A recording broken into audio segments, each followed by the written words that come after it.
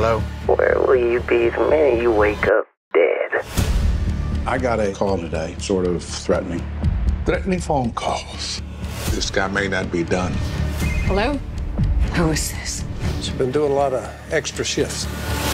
She liked to gamble. I'm broke too. Why do you think I'm doing all this? We got a problem. If you had just been patient, none of this would have been necessary. You're being used. Elaine stands to get $500,000. Played right into their hands.